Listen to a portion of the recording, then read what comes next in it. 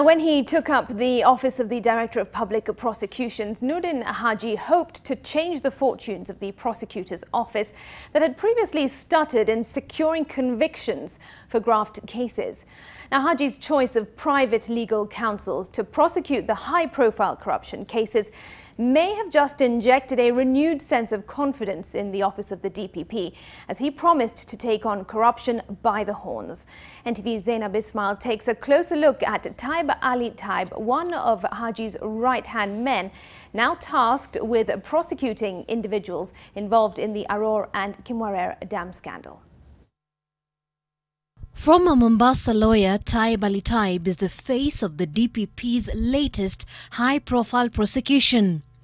In his first public appearance as a special counsel in the case against Treasury Cabinet Secretary Henry Rotich, Taib already had his gloves on. Taib holds a law degree from the University of Nairobi and a diploma from the Kenya School of Law. He was admitted to the bar as an advocate of the High Court of Kenya in 1988 and has practiced law for 31 years. In 2003, he was elected the mayor of Mombasa and served until 2006.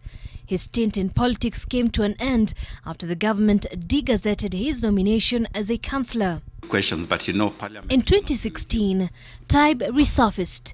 He was shortlisted among 10 other candidates for the position of the chairperson of the Independent Electoral and Boundaries Commission. Anxiously, to the best of my ability, so that I may go down hopefully, on the record, to have rendered my country a service, both for the country's sake and for my own family's sake.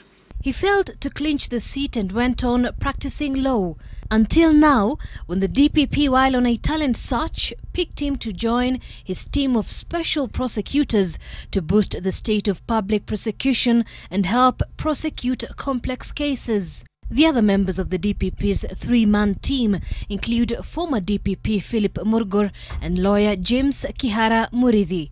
They have been described as the DPP's right-hand men. Taib joined the DPP's power team after he successfully won freedom for convicted businessman Faisal Ali Mohammed, who was charged with being in possession of ivory worth 44 million shillings.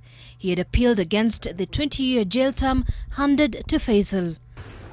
Taib Ali Taib took on his first case on Monday involving immediate Treasury Cabinet Secretary Henry Rotich over the Arror and Kimwarer dams scam.